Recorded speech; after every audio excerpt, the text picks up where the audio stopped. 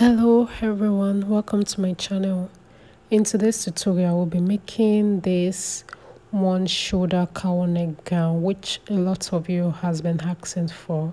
So if it's something you're interested in then let's get started since I did not record the first one for this tutorial, I made this short version, shorter version because I don't have enough fabric. So if you're making yours, make sure yours is longer like the first one.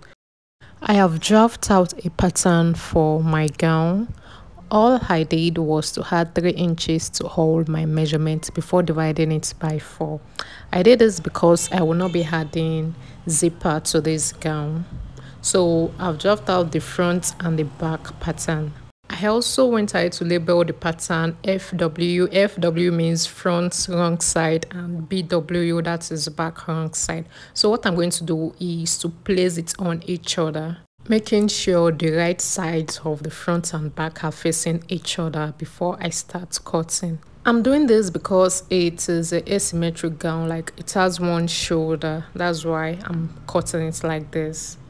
Ensure you cut it like this or else you have too long fabric. Initially, the length of the original gown was about 58 inches, but for this tutorial, because I don't have enough fabric, I'm making it a short one. But you can go ahead and make yours the long form. So what I'm trying to do is to get that curve for the gown.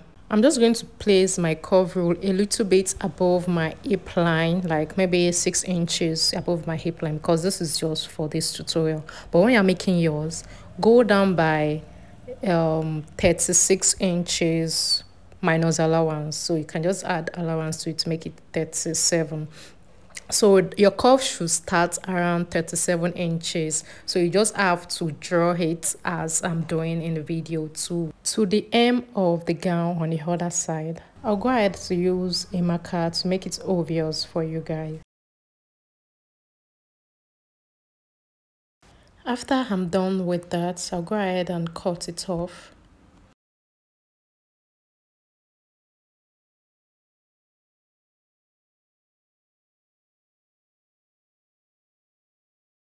we will be working on the front piece first. Because this dress has one shoulder i'm going to get half of my armhole measurement on one side. I'm going to mark it. Then i'm going to connect it to the neckline.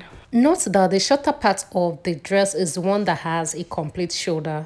And the one with the it half armhole is one that has the long part by the side. Once i'm done with that i'm going to cut it out after cutting it out, I'm going to fold it. Then I'm going to draw a straight line on my chest line. After that, I'm going to cut it out, but I'm not going to cut it out entirely. After that, I'll open it up again. Then I'm going to cut out the mid part, the middle part. I'm going to cut it out. I'll cut it off entirely all you have to do is to open it up and measure how deep you want your cowl to be. You can also place a another pattern paper underneath this pattern and draft out the facing together with the cloth so that you won't have to attach the facing differently. All you have to do is to slash and open the cut part. For this i used about four and a half for the opening of that part. You can use about six to seven inches if you want more cleavage like you want your cleavage to show but i think this works for me. So when i ahead to pin it down i did the same for the second one. I measured four and a half then i pinned it down too. Once i'm done pinning i'll draw my slant line. It was after i was done filming this i noticed that the chalk i used was not showing so just make sure your lines are slant and they connect to the neckline and the shoulder line over there. The next step is to cut out my fabric. When cutting this make sure you notch your armhole so that you know the exact place where your armhole is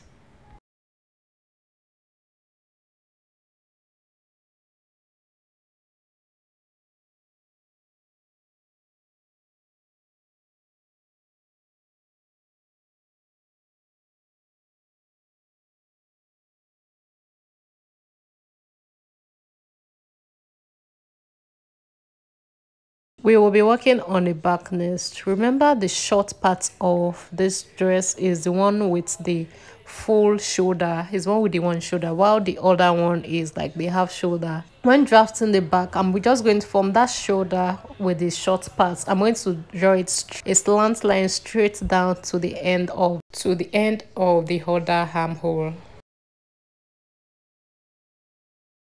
i'm going to cut it out once i'm done with that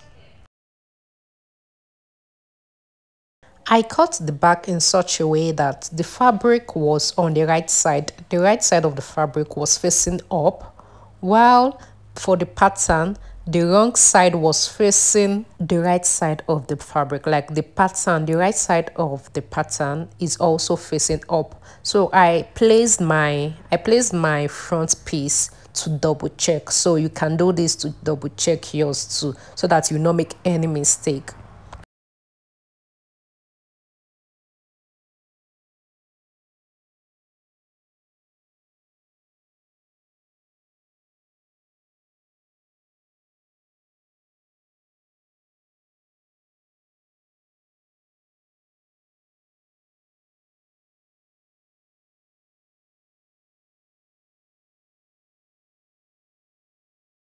After confirming that this is right, I went ahead to cut out my fabric.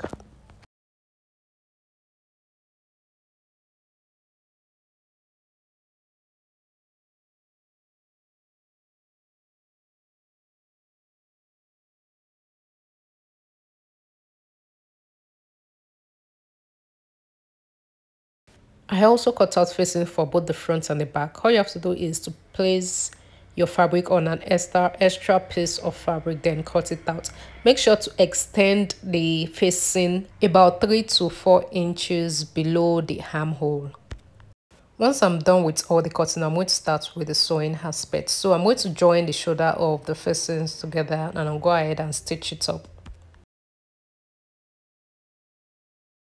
I'll be doing the same for the front and back piece. I'm going to go ahead and join the shoulder together.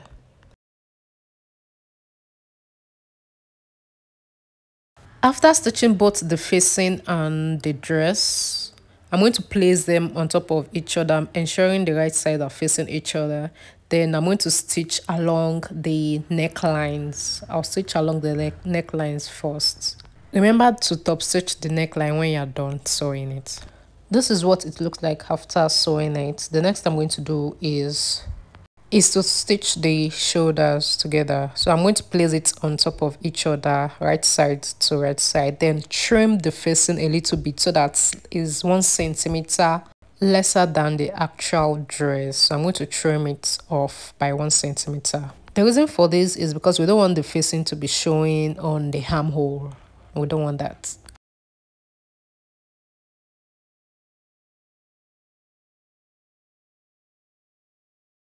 I will also do the same for the other armhole, cut it by 1 centimeter and stitch them up. After sewing it, you just have to pull it out from the armhole. We will be joining the side seams together. We'll be sewing the facing and the top differently. So I'm, do, I'm just going to join it by the armhole and pin it. Then I'm going to sew the facing straight down to the main dress. I'm going to do the same for the other side so. Once I'm done with the side seam I also stitch the hem of my facing and the hem of my cowl neck dress. So we're basically done with this dress. The next thing to do is to attach our bead on the dress. To attach my bead I'll be passing my needle through the pointed part of the armhole, the half one.